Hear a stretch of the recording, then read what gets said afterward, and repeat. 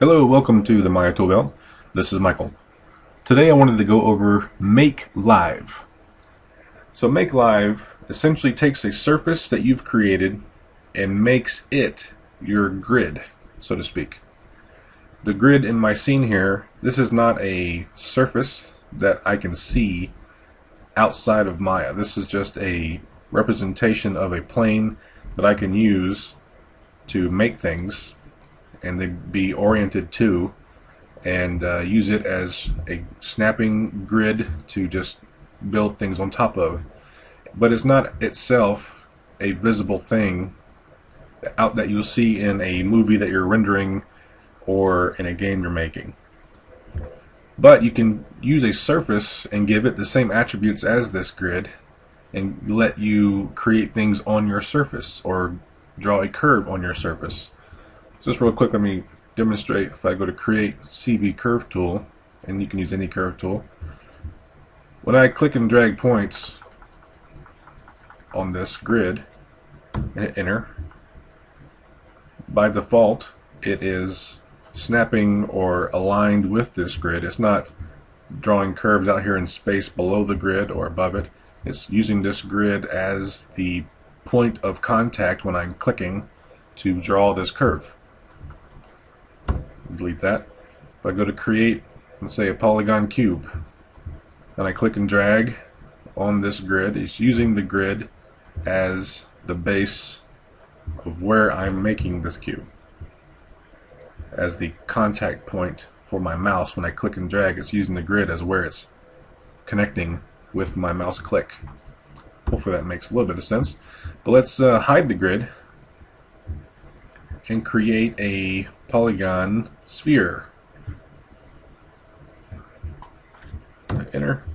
So I have this sphere now, and let's say I want to draw a curve all over this sphere and have it follow the contours of this sphere. That's where Make Live comes in. You go to Modify, Make Live. Or you can hit this magnet icon up here in the status line. It's right here. So we go to Modify, Make Live. You'll notice that my wireframe on my selected sphere turns a, a darker shade of green and I can no longer select it. It's still in my scene, I can rotate around, but I can no longer select this sphere. If I open the outliner, the sphere is still there and I can select it in this sense and I can still move it once I have selected the sphere in the outliner but in the scene itself it's not selectable. That's because it has been made live. This surface is now live, meaning I can now use it as my grid, so to speak. I'm going to go to Create, CV Curve Tool, and I'm just going to start clicking around on this sphere.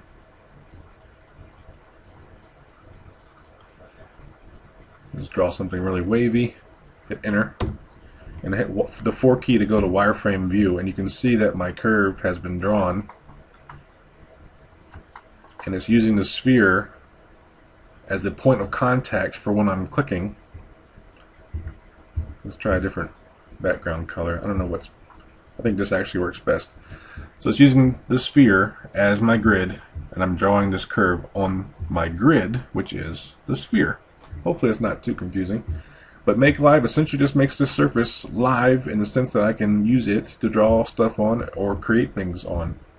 If I go to create, um, just using polygons for now, but say polygon sphere, if I click and drag and create my sphere, see it's using the uh, larger sphere, the live sphere, as the surface that it's adhering to.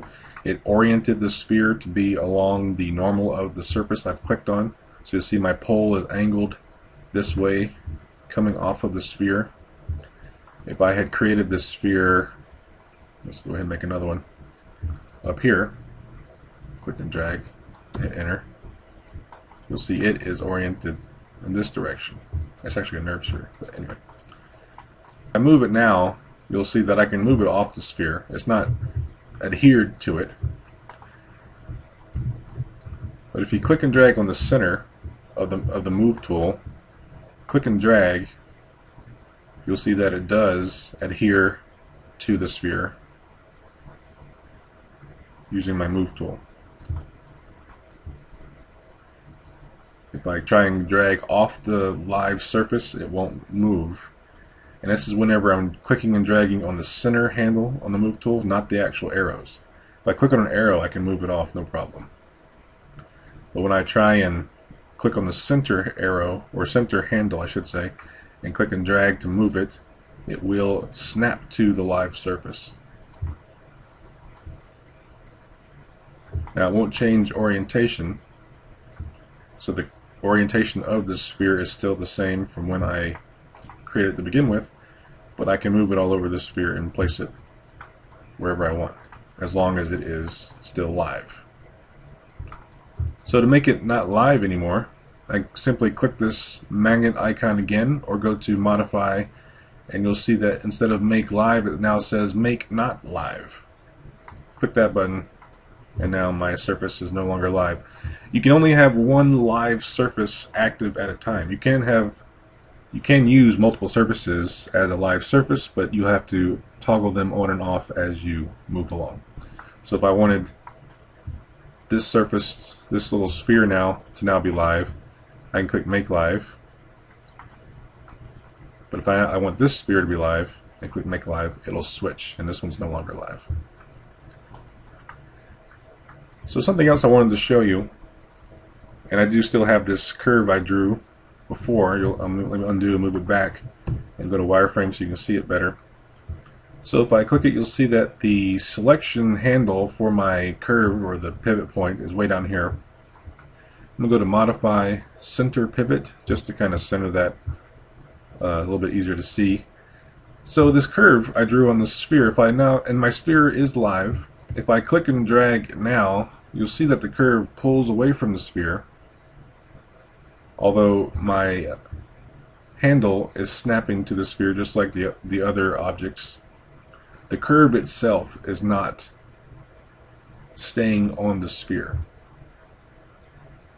That's because the sphere is a polygon sphere and curves don't necessarily use polygons in their math. They're a curve and they are also considered a NURB, or non-uniform rational B-spline, or just say spline for short.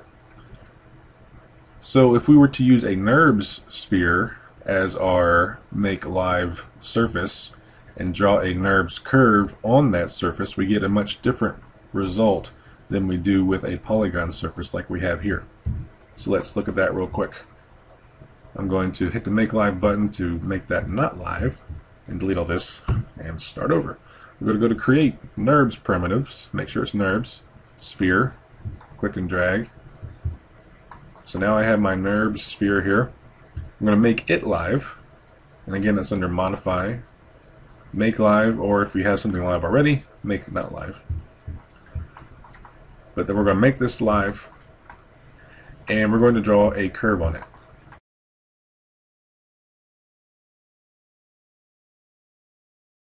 So now my curve is on the sphere. If I were to select my curve, you'll notice that my move tool looks a little different. It's like these, this little diamond shape in the middle with a green y-axis and an x, I mean a red x-axis, but no depth. This is still considered a 2D object as a curve, but it's adhered to the surface. So when I move around now, you'll see how the curve will stretch and contract and expand along with the contours of the sphere that it is drawn on. So I can literally move it anywhere on this sphere and it will conform to the sphere's shape and deform at the poles and such like so. This is called a surface curve. Different than an isoparm, if I were to create another NURBS sphere real quick, oh, and of course it snapped to my live surface, but that's okay. Let's pull it off.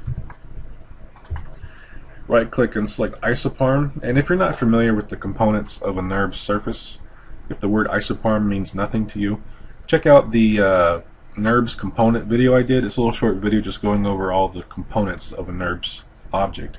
just so you're up on the lingo. If I right click on this NURB, this new NURB sphere that is not live and choose isoparm and select one of these lines, these are not surface curves. These are isoparms. A little bit different. This is a surface curve. It's a curve on the surface. An isoparm is a component of the surface. Hopefully that makes a little bit of sense. But a surface curve is different in that it is attached to this sphere. Open my outliner and delete my new sphere. I don't need that anymore. I still have NURB Sphere 1, the first one I made that the curve is drawn on. And if I hit the Make Live button to make it not live anymore, there we go. So I can now select my sphere. You'll notice that the curve is selected along with the sphere. There's no, there is no curve object in my outliner. There's no curve object in my scene according to Maya. It, this has become a component, so to speak, of the NURB sphere. So how would you use this curve? Lots of different ways, especially in the surfaces menu. You have all these commands that we have several videos going over, such as bi-rail and then extrudes and planars and stuff. Well, not planar so much, but loft and revolve and all that kind of thing. Um, you can use any curve function really with this curve. It just is attached to this sphere. Now, if you want this curve off of the sphere, you will have to do another function called edit curves duplicate surface curve in which case I've duplicated my surface curve and have made an actual curve object that I can then use in my scene for other things. So that's how you would use this curve separately if you wanted to. But Make Live lets you draw a curve on this surface. And this will work for other things as well, such as particle effects, uh, paint effects, different things that use brush strokes to do anything or can emit from a surface or just in general draw on a surface for any reason. Anything you could use the grid for, you can use a make a live surface for. So I'll go over a lot of these other functions in other videos that are more focused on them. But I wanted to make sure you knew what Make Live was, because Make Live is going to come into play in a lot of other tools and functions as we go forward. So make live, modify, make live right here allows you to do this kind of thing. Hopefully you like this video. Hopefully, hopefully you learned a little bit. Uh, thanks for watching. Uh, please subscribe. If you have any comments, suggestions, requests, I definitely take requests. Uh, thanks for watching again, and I will talk to you later.